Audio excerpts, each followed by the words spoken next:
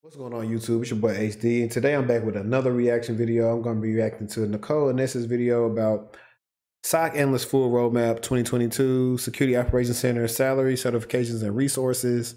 I've reacted to one of her videos before, so I just want to see what she's talking about.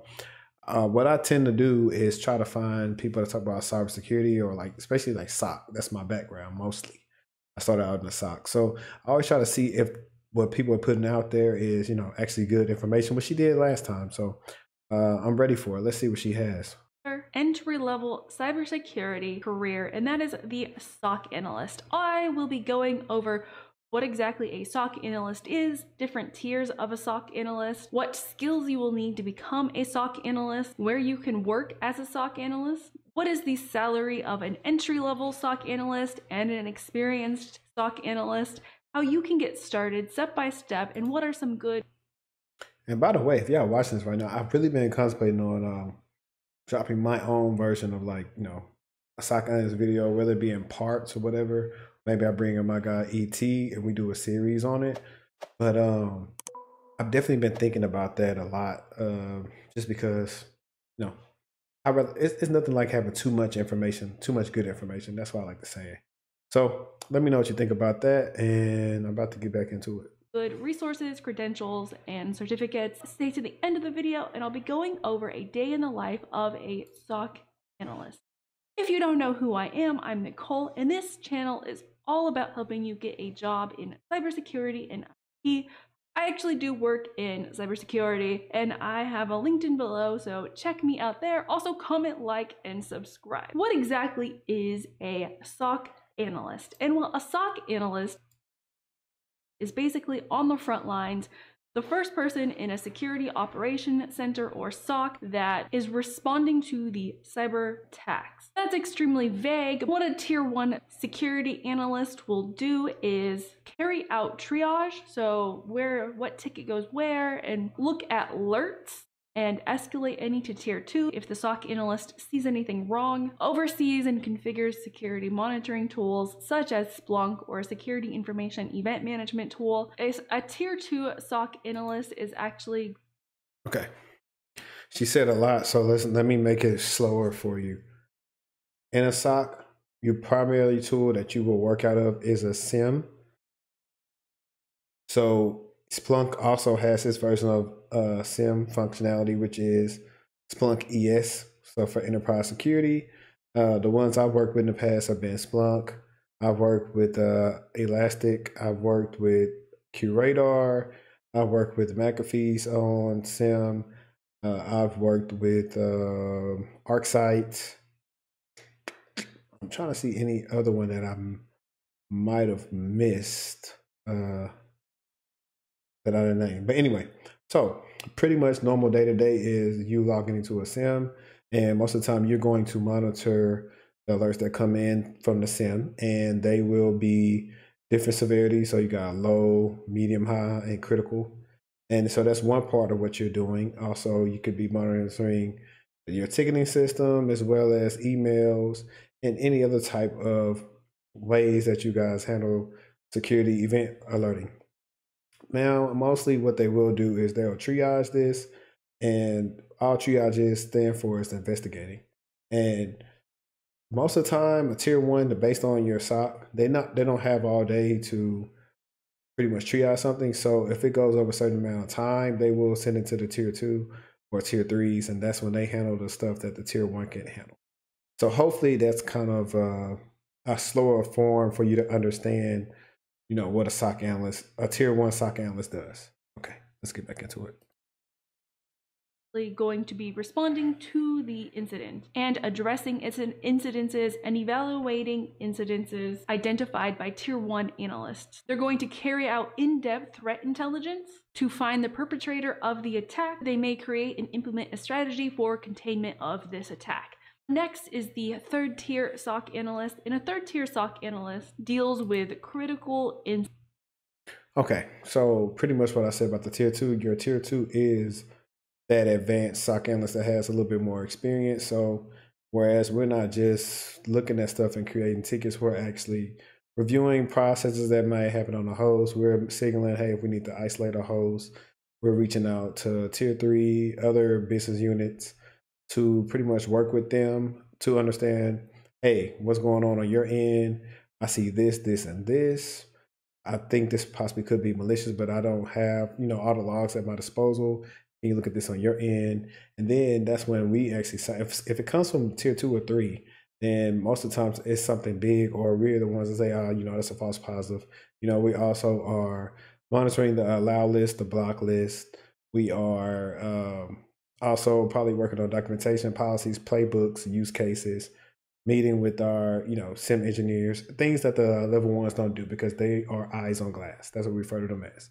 And so I kind of already said what tier three does too. So, but I'll let her say her her spill about it.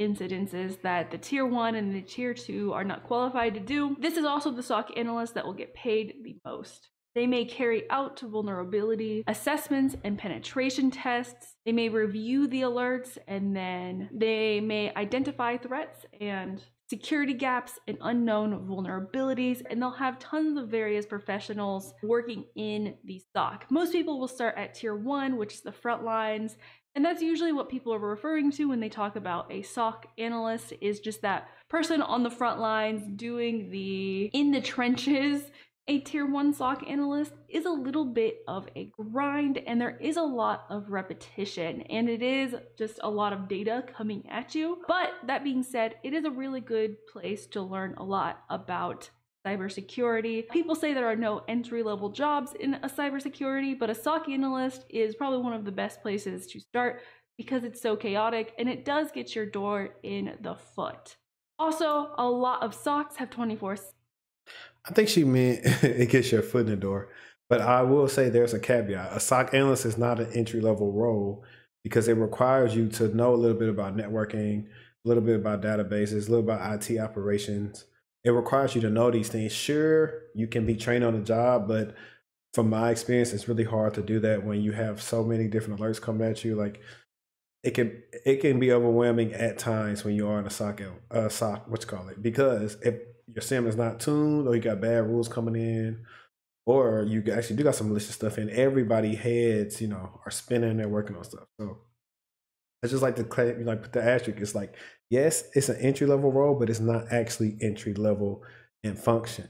This is why that I've said on a couple of videos that you've seen the rise of SOC analyst pay go up because they're actually more essential than people thought. The pandemic has showed how essential, you know, a good SOC could be for your organization.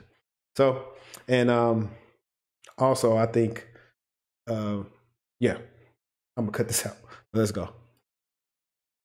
Or seven shifts, and if you're new to the field, you most likely will be working a night shift until you get a few more years of experience. More experienced professionals are more likely to take the day shift. If you're willing to work a night shift, it might be a really good strategy to land your first job and then try to get out of that night shift as quickly as possible because it is bad for your health. I've seen a SOC analyst go by so many different names. Some of those are cybersecurity analyst, that is probably the most common one, and I would say they're interchangeable. Cybersecurity analyst, SOC analyst, information security analyst, I've seen that, infosec analyst, IT security analyst, IT specialist with security at the end of it. So you always have to make sure to look at the job duties because these job titles are so vague and there are no universal job. So she's right, but mostly you'll see cybersecurity analysts, SOC analysts, threat analysts. Um, like she said, she threw one. I've never IT specialist. know that I've never seen that with being something with that's related to a SOC. but yeah, the job duty is going to normally say if you see something that says like 24 by 7 uh, monitoring or uh, anything along the lines of that, nine times out of 10, it is an actual SOC. Uh, what they tend to do is kind of dress it up to make the role look a little bit more important. Like we were SOC analysts, but my title was a threat analyst. Threat analyst sounds cooler than a SOC analyst. Threat analyst actually sounds like you specifically know about threats, and a SOC is more, you know, all encompassing, more broad. So yeah, that's it. Uh, but this video getting long, you know, and we're not even halfway through. I, I look, I'm cooking on this thing, man. You know what I'm saying? y'all know what it is if y'all like these reactions. So let's get back to our video. Job titles. Always make sure to look at the job dude. Some skills that you will need to become a SOC analyst is a good foundation of what IT is and a good foundation of what networking is because you will probably be watching network traffic a lot. And a good place to start would be the Google IT support certificate. The link is below in the No. A good place to start is not the Google IT support certificate. It is not at all. That cert is not even on a lot of jobs. Don't even bother. If you're going to go that route, you might as well get start with A plus, then Net plus, Security plus. Don't bother. It's not even a cert that's uh, pretty much sponsored by Google. It's actually a Coursera cert that they made, and you don't even find that cert on Google's site. So no, don't get that cert. You're going to need general knowledge of PowerShell and Bash scripting. These aren't that hard of skills to up. You're going to need knowledge of multiple computers I would disagree. See, when, when when someone says that, and I've been noticing this through the whole video, you know, no disrespect to her because I know I have to look at her LinkedIn. matter of fact, let's do it right now. Okay, so I'm on LinkedIn. Uh, she was IT specialist, network admin, sysadmin, so she got a good background. Compliance engineer, and now she works on the WAF, which is a web application firewall, and she's a security engineer for that. So she definitely has a good background. And now, after her saying that, I will say that's the reason why she probably said something easy to learn because as a sysadmin, you do a lot of things with PowerShell and Bash, um, Linux, Windows, a lot of automation things. So to her, that's probably easy.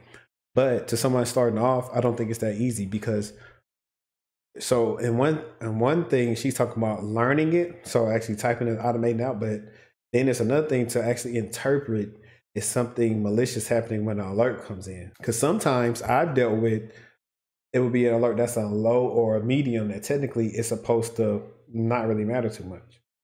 However, when you actually research, oh, this is what they're doing in the script, this user not supposed to do that, then you got to reach out to that user, then go look at their activity over the last three months and see what's going on, then you find out. So I get what she's saying, like actually like trying to say learn it, but interpreting it and really not having all that time and not being that experience with it is a little different. So, but I, I do understand after looking at her background, I understand why she would say something like that. Computing platforms and the cloud basics. So think Unix, Linux, Windows, Having a IT certificate can definitely help you get a SOC analyst position. So do you know what IP addressing is? Do you know what the TCP IP is? Do you know what the OSI model is? These types of things you will definitely need to know. Do you know what DNS is? And the difference between forwarders and resolvers? Important information. If you do not, I strongly suggest learning that right now. Also, knowing the basics of security information event management, uh, tools such as Splunk would be extremely helpful. You don't need to be a pro, you just need to know the basics and do a couple of projects on this. Uh, there are tons of different tools you can learn, but just learn the concepts and base foundation. Analyzing. I'm gonna see what she's gonna say, but see, and so her background, she hasn't worked in the SOC, so it's easy to read the stuff that you see, but um, everybody can't really get access on. Well, you know what? It's different now. You can do Boss of the Socks, and so it kind of can walk you through. You got to TryHackMe, Library, other places. I'll show you how to use Splunk. All the skills she talked about are wonderful, but how do you put them together to make an actual SOC analyst? I've met with clients that did all this TryHackMe and all these other things, but they don't know how to do this part. This is the hardest part to get through when you want to be a SOC analyst. And if you haven't been one, it's hard to tell somebody how to do it. Now I'm gonna see what she has to say, and then I'll rebuttal and tell you what I normally do to my clients that have, you know, SOC analysts, you know. Analyzing a PCAP is extremely important to know. I do have a project below that walks you through how to analyze this. It is by Coursera, but I strongly suggest that. Also, being able to triage events fast is important, but that won't really come until you have worked a few a few months and then you'll start to pattern recognize things that just repeat over and over and it, it, will get repetitive. Being able to analyze emails and malicious content is also something you will need to know. Uh, some really good sites to go to is VirusTotal, URL scan, ANY.RUN and analyze an off network PC or VM, and then really just get some hands on experience there. Also, being able to document things and then creating standard operating procedures, such as a user guide, so someone else can follow step by step of something that you previously had done. So, where can you work as a SOC analyst? The possibilities are endless. I mean, SOC analyst is probably the fastest growing job, and you can work in healthcare. So, yeah, knowing how to analyze PCAPs is a big one. Um, definitely, you can use. Uh, you can work in the DoD oops, you can go to um, malwareanalysis.net, download PCAPs, and um, look at them through Wireshark and have some questions for you to answer. And I will say that will help you when you're reviewing like network logs, right? Like for example, like we used to have uh, Palo Alto network logs coming in, so you would look for the different headers like uh, HTTP, URL, URI. Um, you will look for uh, different IP address or source, destination, and it's a couple other ones that you can do when you're doing a Wireshark that you can filter for to look for. But that will kind of get you to understand, okay, now I take what I did this packet capture and then I go look at it in a, a SIEM to figure out what I need.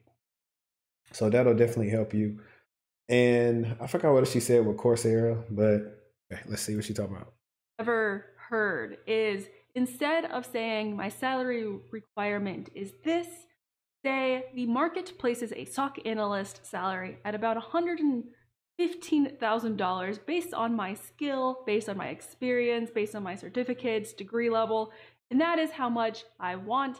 You may or may not get it, but at least you are trying, and it's really hard to say, no, that isn't the correct pricing if you did your research. So always make sure to do your research and then just go into that interview knowing your number if we look at some of these jobs, I, I don't know what she said, but I did do a video on SOC analysts.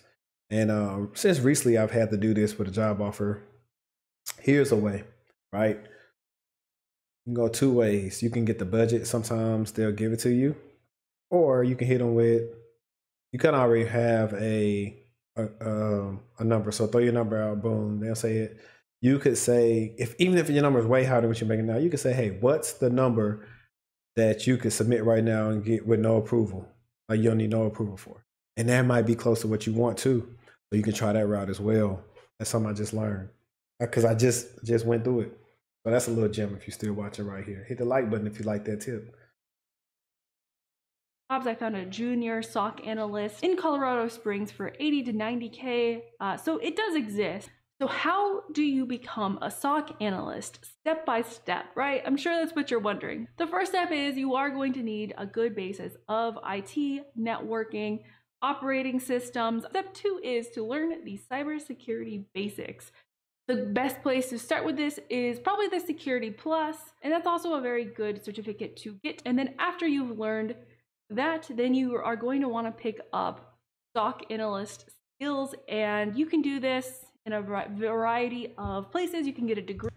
So overall, it was giving you know repetition, and um, overall, still a good video. I guess different for me from somebody who's actually SOC professional watching it. Uh, for somebody that's a newbie, it might be good.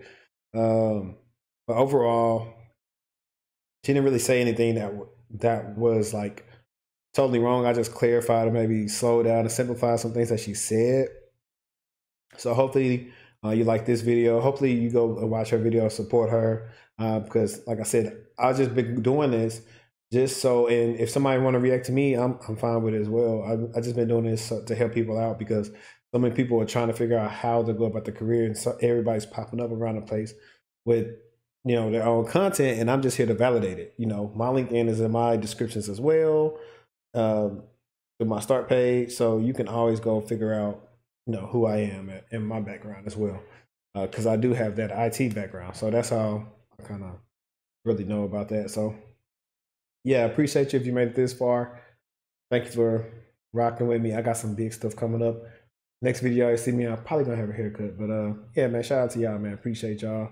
I love y'all. And it's your boy, and I'm out.